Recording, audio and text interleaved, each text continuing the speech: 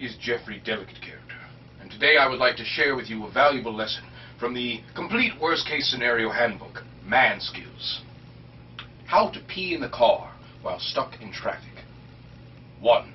Cover the seat. Arching your back to elevate your butt from the seat, completely cover the front seat of the car with paper towels or newspaper. 2. Find a container. Look around the interior of the car for a cup with an open or a resealable top, such as a travel mug, to-go cup, or refillable sports bottle.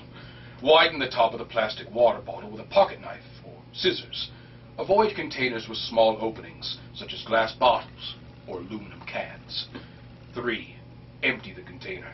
Roll down the window and dump the contents of the container outside of the car. Careful not to splash adjacent vehicles or passerby, or damage the paint on your car.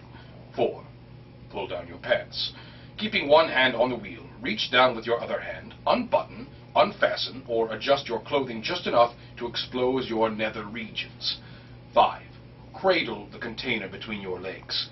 Angle the opening of the container forward at a 45 degree angle. 6.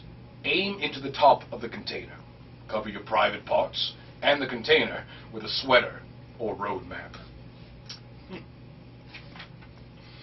7. Do your business. While you are urinating, keep your eyes fixed on the road and maintain a neutral facial expression. If you have passengers, turn up the radio to hide the noise of the stream. 8. Readjust your clothing. Set the container on the car's cup holder and fasten or readjust your clothing as normal. 9. Dump out the contents of the container. Roll down the window and dump the contents of the container outside of the car, being careful not to splash adjacent vehicles or passerby or damage the paint on your car. Beware. Holding in your urine for extended periods can put you at risk for urinary tract infections and can distend your bladder, leading to an increased urinary frequency in the future. And a word to the wise from my own experience. If you're going to pee in your car into a bottle, make sure the bottle is large enough to accommodate your urine. Thank you.